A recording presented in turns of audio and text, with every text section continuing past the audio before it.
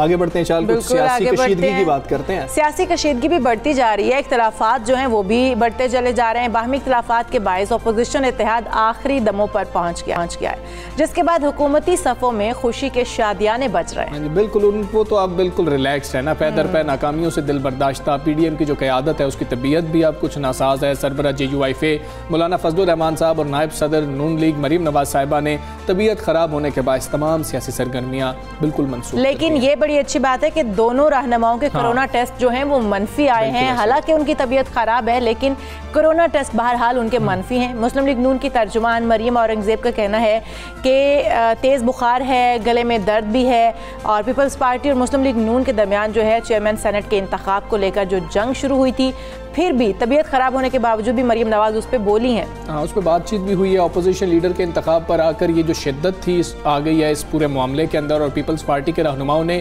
गुजशत रोज़ नून लीग की मरकजी नायब सदर मरीम नवाज़ साहबा की तनकीद पर जवाबी कुछ वार किए और उनका कहना है कि हमें हर ताने का जवाब तो देना आता है। PDM hmm. किसी की जागीर नहीं है ना बच्चों का खेल है जो कह दिया कि लॉन्ग मार्च नहीं हो रहा।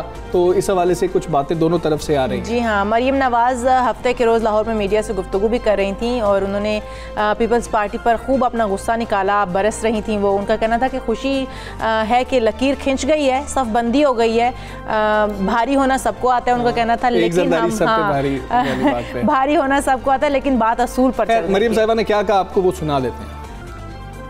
पोजीशन जो है वो हुकूमती अरकान सरकारी अरकान से मिलके बन रहा है। अगर आपने ताबेदारी करनी है अगर आपने सिलेक्ट होना है तो फिर आपको इमरान खान की पैरवी करनी चाहिए। आधा तीतर और आधा बटेर और कभी अपोजिशन कभी हुकूमत ये नहीं हो सकता। सफबंदी हो गई है आवाम देख रही है। आपको बाप के लोगों ने वोट दिया है। ज़ाहिर है ये किसके कहने पर हुआ है? पूरी दुनिया ये जानती है। और जहाँ तक सब पर भारी की बात है तो आज मैं भी अपने असूल कुर्बान कर दूँ। हाँ, मियाँ साहब भी अपने असूल कुर्बान कर दें तो हम तो पूरे पाकिस्तान पे भारी हो सकते हैं भाई। बिल्कुल ठीक है। ये गुफ्तु तो आपने सुन ली इस पर हम कुछ नहीं कहेंगे। बिलावल साहब ने क्या मशवरा दिया आपको वो सुना। देते हैं। मैंने पीडीएम का बुनियाद रखा। मैं तो चाहूँगा कि पीडीएम के इतिहाद बरकरार रहे।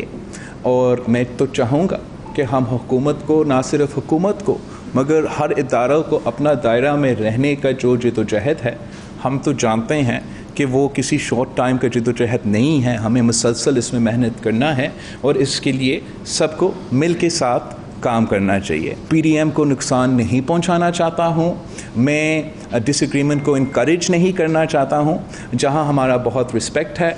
मरियम शरीफ साहिबा से नून लीग के काफ़ी अहदेदारों के ये जो बयानबाजी अब हो रहा है, लेकिन साथ साथ मैं पीडीएम को नुकसान नहीं पहुंचाना चाहता हूँ। बिल्कुल ठीक, आपने गुफ्तु मुलायजा की। इसी तमाम तर सूरत हाल पर बात करेंगे मुस्लिम लीग नून के सीनियर रहनुमा राना सनाउल्ला साहब हमारे साथ मौजूद हैं। राना साहब वालेकुम good morning sir.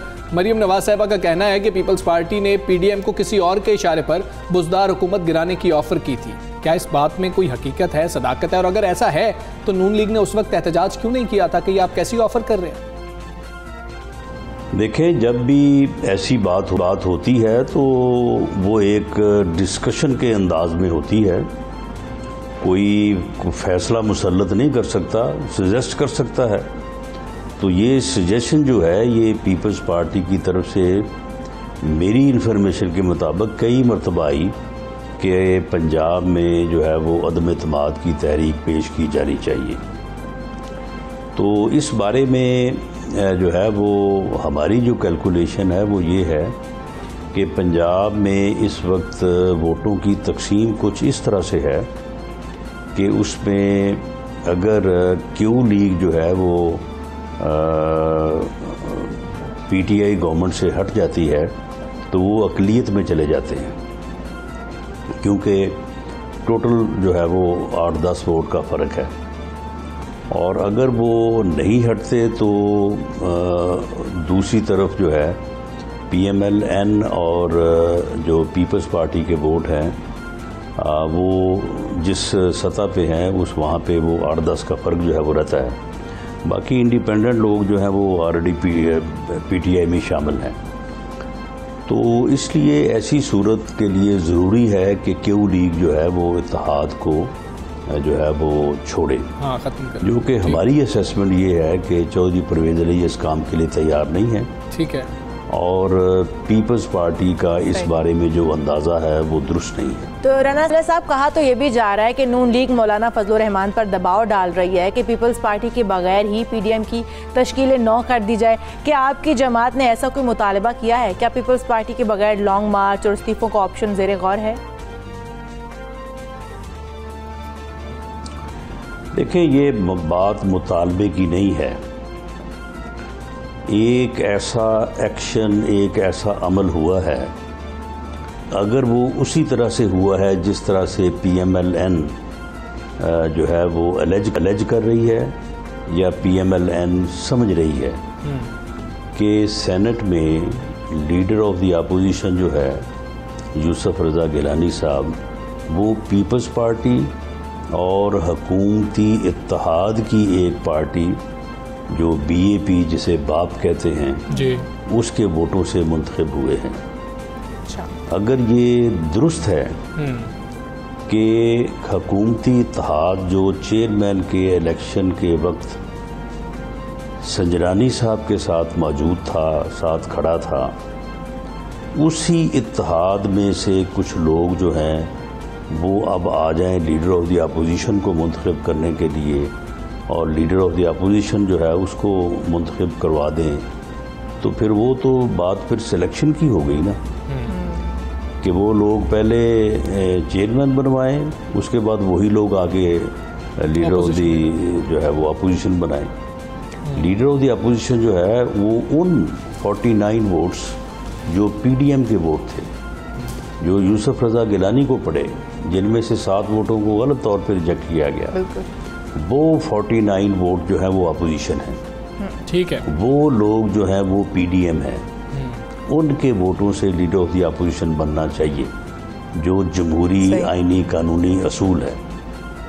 वो लोग जो 48 संजरानी साहब के साथ खड़े थे उनमें से ना किसी एक को और ना छः को ना दस को कोई हक नहीं पहुँचता कि वो अब उधर से उठे और इधर लीडर ऑफ़ द अपोजिशन मुंतखब करवाने के लिए आ जाएँ। ये जमहूरीत की नफ़ी है।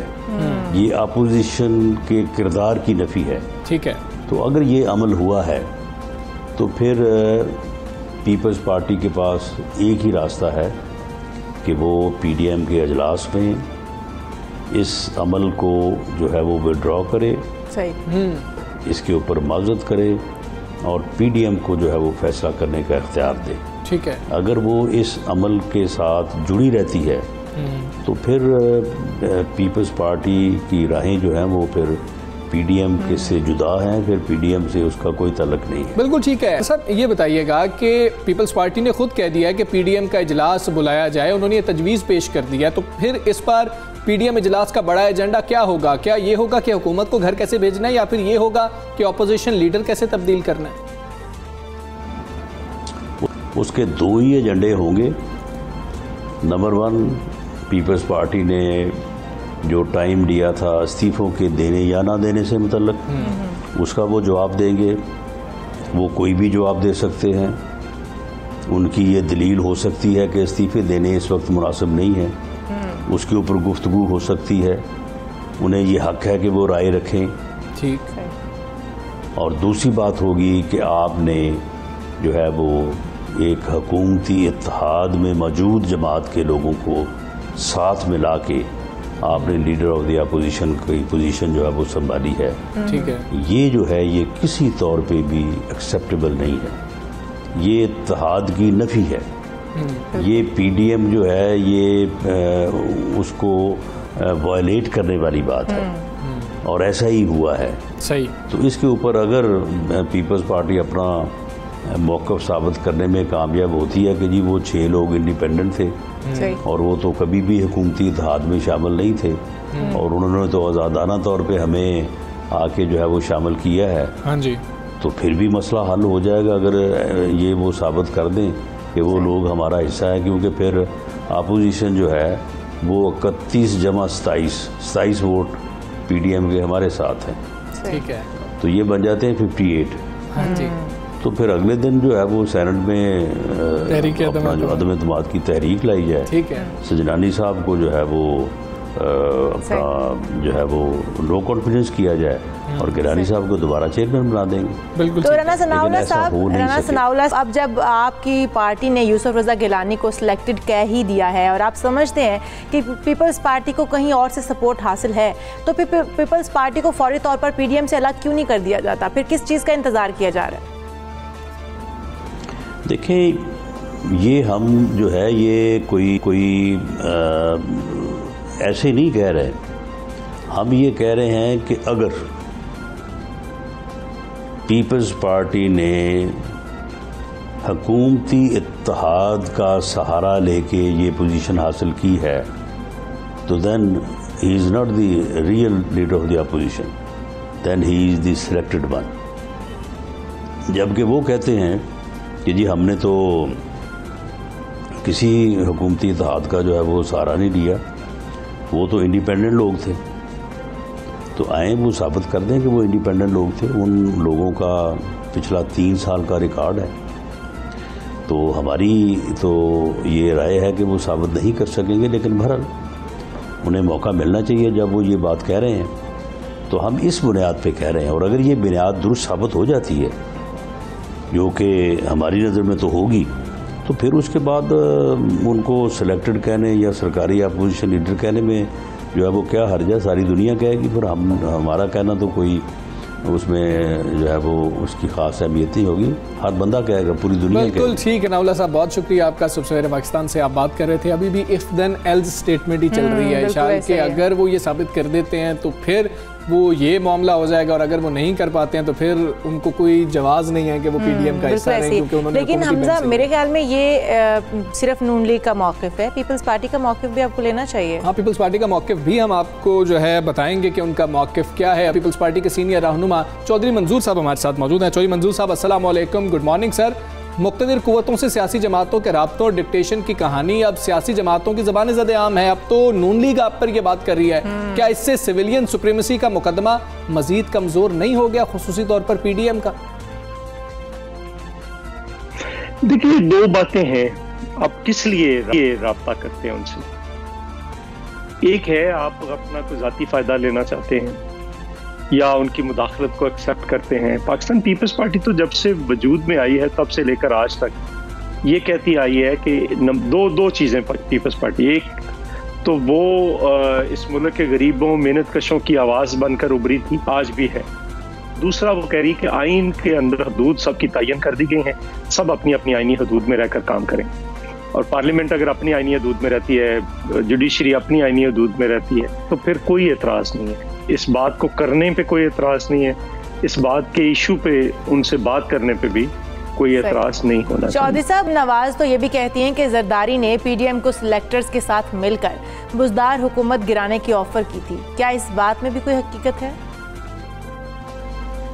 नहीं बल्कि ये ना सिर्फ़ ना सिर्फ़ सदाकत नहीं है बल्कि इसका मतलब ये है कि बुजदार हुकूमत को अगर बिठाया हुआ है जो कि 60 परसेंट पाकिस्तान है 12 करोड़ आवाम है 22 करोड़ में से तो इसका मतलब ये है कि एक नाहल और नकमे बंदे को बिठाने में जहाँ पे इमरान खान का हाथ है, वहाँ पे नवाज़ लीग भी अब उसको सपोर्ट कर रही है। तो नवाज़ लीग भी उतनी मुजरम है जितनी वो हम चाहते हैं कि इसको गिराया जाए और अगर ये गिर जाएगा तो इमरान खान की हुकूमत ऑटोमेटिकली गिर जाएगी।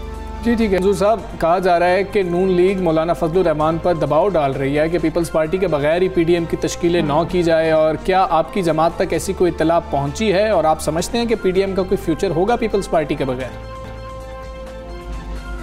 नहीं ऐसी कोई इतला नहीं है और नून लीग जो है वो पाकिस्तान पीपल्स पार्टी ने ये पीडीएम बनाने में बहुत आम रोल अदा किया सबसे रबते किए सबको इकट्ठा किया पीसी बुलाई। और अब अगर कोई ऐसी बात करेगा तो फिर उसे खुद अपने कंडक्ट पे पहले देखना पड़ेगा कि उसका अपना कंडक्ट क्या है। हम तो कभी खामोश नहीं रहे हमारा ट्विटर कभी खामोश नहीं रहा। हम्म। हमारा कोई बच्चा भी बाहर नहीं है इस वक्त मुल्क से। ठीक है तो हम तो इधर ही हैं इधर रहकर लड़ रहे हैं और इधर ही रहकर लड़ना है। तो इसलिए इस किस्म की कोई बात नहीं पीपल्स पार्टी के बगैर वो इतिहाद जो है वो बिल्कुल तो चौधरी मंजूर साहब अगर ये फ़र्ज़ कर लें पीपल्स पार्टी को पीडीएम से अलग कर दिया जाता है तो पीपल्स पार्टी कोई नया अपोजिशन इतिहाद कायम करेगी?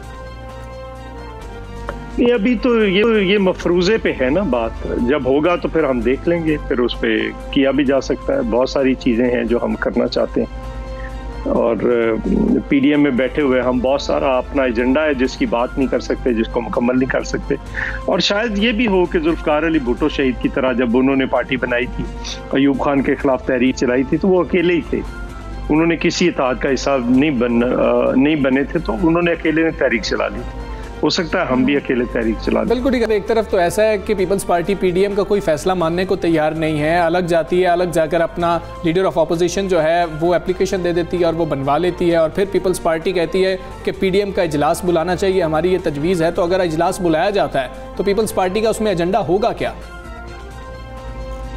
एजेंडा तो देखिए देखिए मिलकर और मेरा ख्याल इस बार सारी बातें होंगी पीडीएम के प्लेटफॉर्म से। कि किस जमात का क्या रोल है, क्या रोल नहीं है, किसको क्या करना चाहिए, किसको क्या कहना चाहिए और क्या नहीं कहना चाहिए। ये सारी चीज़ें हैं, फिर। और ये सारी चीज़ें देखी जा सकती हैं।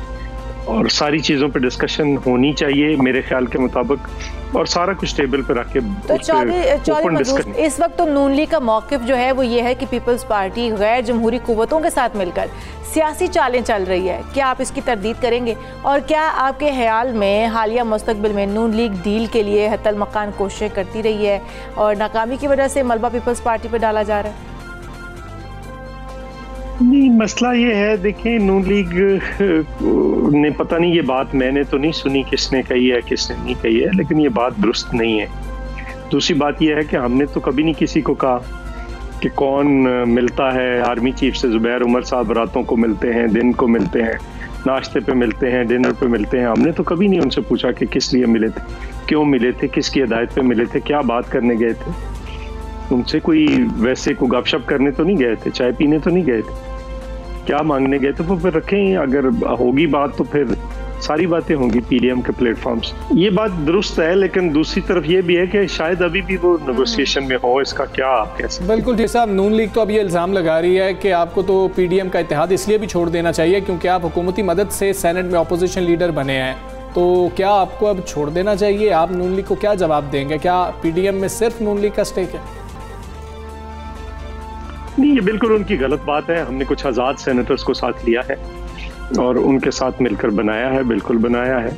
और हम इनको कह रहे थे कि चूँकि हम सिंगल लार्जेस्ट पार्टी हैं सिंगल लार्जेस्ट पार्टी जो है, उसका ये राइट था। उसको मिलना चाहिए। जिस तरह से इनका राइट था वहाँ पे तो इनको दिया गया। यहाँ पे हमारा राइट है हमें मिलना चाहिए। ठीक है पीपल्स पार्टी के सीनियर रहनुमा चौधरी मंजूर हमारे साथ मौजूद थे। सुबह सवेरे पाकिस्तान से बात कर रहे थे और वो कह रहे थे कि इस दफ़ा जब पीडीएम का इजलास होगा तो तमाम बातें होंगी जो बातें नहीं हुई वो भी ऐसे ही। पहले आपको नून लीग का मौकफ सुनाया था और आप पीपल्स पार्टी का मौकफ भी आपने सुन लिया। बहरहाल ये तो चलता रहेगा जब तक कोई फैसला नहीं होता कि पीडीएम हाँ। साथ है या नहीं